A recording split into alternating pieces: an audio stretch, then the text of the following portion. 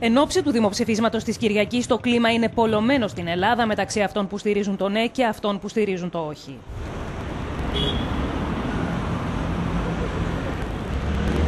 Το ερώτημα είναι αν οι Έλληνες θέλουν να δεχτούν τους όρους ενός νέου πακέτου διάσωσης ή όχι. Ωστόσο, αυτή η προσφορά αποσύρθηκε από το τραπέζι όταν η Ελλάδα δεν πλήρωσε τις δόσεις προς το Διεθνές Νομισματικό Ταμείο στις 30 Ιουνίου.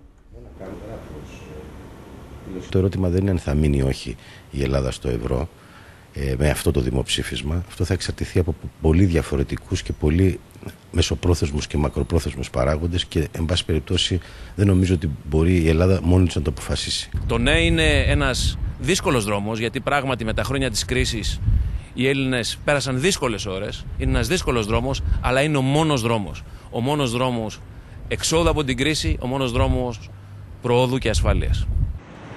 Η μεγαλύτερη αγωνία των Ελλήνων είναι το τι θα φέρει η επόμενη ημέρα, είτε επικρατήσει το ναι, είτε επικρατήσει το όχι.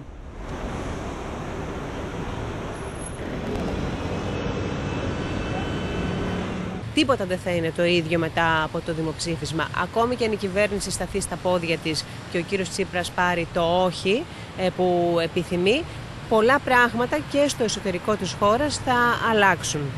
Το δημοψήφισμα της Κυριακής θα είναι το 8ο κατά σειρά στην ιστορία της χώρας. Και όπως στα περισσότερα από τα προηγούμενα, το πιο σημαντικό αποτέλεσμά του ίσως να είναι τελικά ο κίνδυνος του να προκαλέσει ένα βαθύ ρήγμα στην ελληνική κοινωνία που θα μπορούσε να διαρκέσει για χρόνια. Από την Αθήνα για το Euronews, Σταμάτης Γιαννήσης.